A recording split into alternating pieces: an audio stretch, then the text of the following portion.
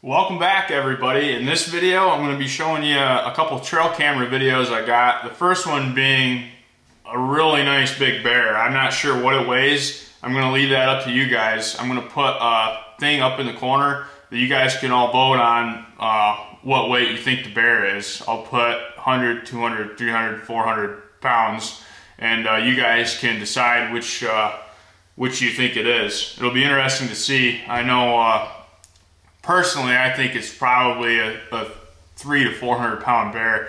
I really don't know that much about bears. I was lucky enough in 2011 to uh, kill a 200 pound sow and I shot her with a 50 caliber muzzleloader in the late season.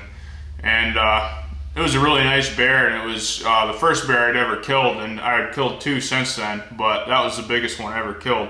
But this video is going to be brought to you by the Marmot Rifle Sling.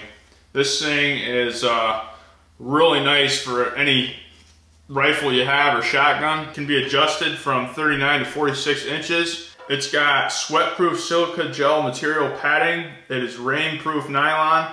The leather nylon hybrid adjustable parts. It's got metal inside hard plastic length adjusters. And it's got aluminum alloy metal clips. So this thing can uh, attach to whatever gun or rifle you'd like to attach it to.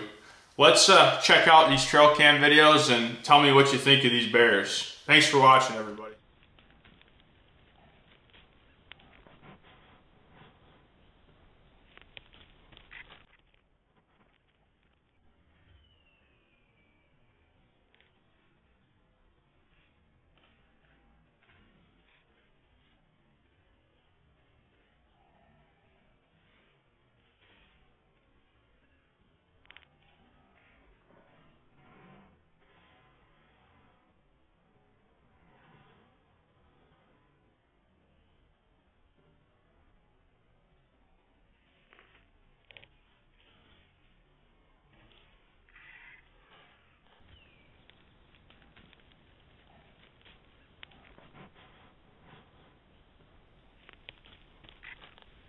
This bear right here was actually there the day before I got the video of that big bear. As you can see the date here, this is the 7th, and uh, the big bear was on the 8th.